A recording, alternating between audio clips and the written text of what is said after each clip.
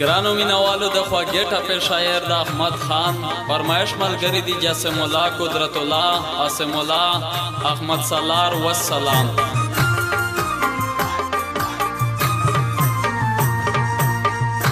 وای الله سپینس مګمای